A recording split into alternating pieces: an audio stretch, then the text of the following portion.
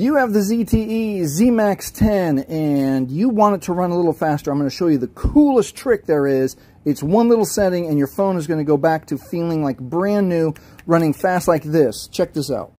But if you're tired of your ZTE and this doesn't work and your phone is just terrible, look about right here or maybe even right here is my YouTube store with great suggestions on upgrades of great phones that might be your next phone. All right, let's move on.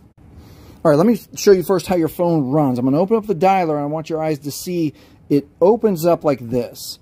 Closes the dialer. It closes down back into the icon. One more time. Open the dialer. You see it move like this. Close the dialer. Let's turn that off. It's super easy. We're going to jump into settings, touch settings. We're going all the way down to accessibility right there.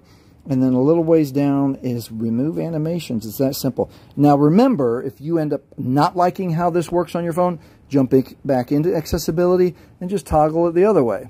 But for now, let's do it like this. And now watch the difference. It blinked off. So anytime you touch the screen, it's just going to blink as opposed to animate. So let's open up the dialer. Blinks on, close the dialer, blinks off. Anytime you're touching anything on your phone, it's going to feel so much faster.